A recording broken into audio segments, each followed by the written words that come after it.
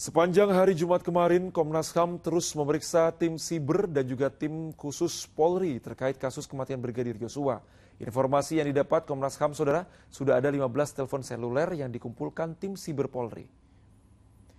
Tim siber Polri ini menjalani pemeriksaan selama kurang lebih 6 jam di kantor Komnas HAM di Jalan Latuhar Hari, Jakarta Pusat.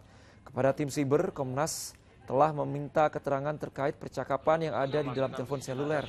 Setidaknya ada 15 ponsel yang telah dikumpulkan tim Siber Polri. Dari jumlah itu, 10 sudah diperiksa, sementara lainnya sedang didalami.